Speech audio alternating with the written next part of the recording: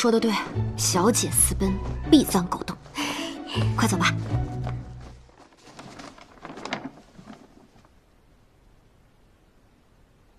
袁伟，嗯，咱们今日来的时候是不是路过金陵院了？嗯，那你还记得路吗？记得呀。你刚还当众病倒呢，现在太子的人还在外面，你竟想着寻欢作乐？怎么会呢？你怎么想我呢？我可是打听过了，玉京中的贵女都会去那儿。那你想啊，要打听消息，那肯定是要偷听到一些私密的信息嘛。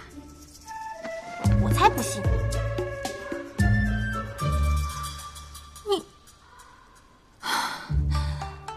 你居然不信我！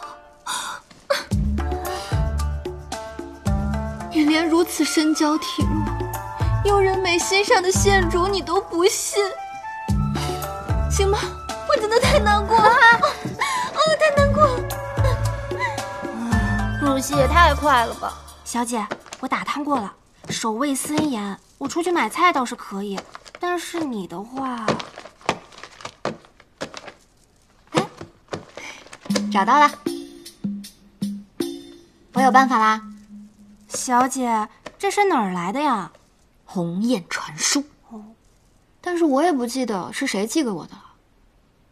哎，你看啊，这个上面全都是玉京最流行的穿搭和发型，快，照这个给我打扮一下。哦，去找几个单子过来。最后一步了，来。哎哎哎，小姐你别乱动呀！哎呀，美丽总是要付出点代价的嘛。忍着一点嘛，来。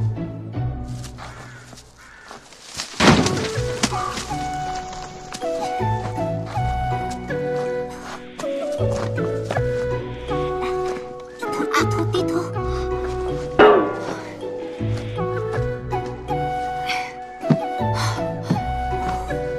真的得感谢爹，得亏了他当年和娘出去约会这祖传的狗头。话本上说的对，小姐私奔必遭狗洞。快走吧，